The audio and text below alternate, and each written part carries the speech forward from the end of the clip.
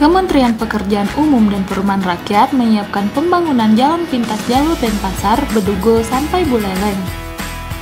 Rencana tersebut disampaikan ketika Menteri Pekerjaan Umum dan Perumahan Rakyat atau PUPR meninjau lokasi rencana jalan pintas di Buleleng.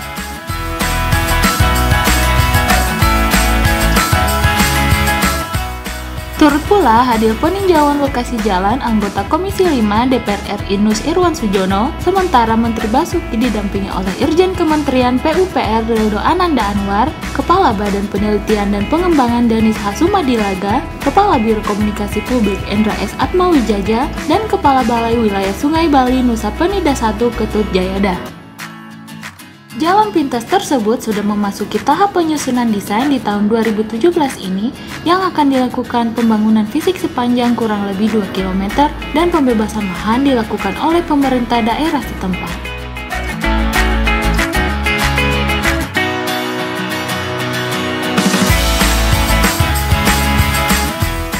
kan kan Buleleng itu kan jalannya kan uh, kelok-kelok ya sempit sehingga kalau mobil-mobil turis bis ini kan jalur ekonomi juga kan ke arah Singaraja.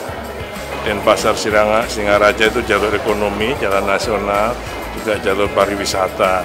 Kalau dengan kelok-kelok dengan lebar segitu itu bis pasti rentetannya macetnya ke belakang jauh sekali panjang sekali.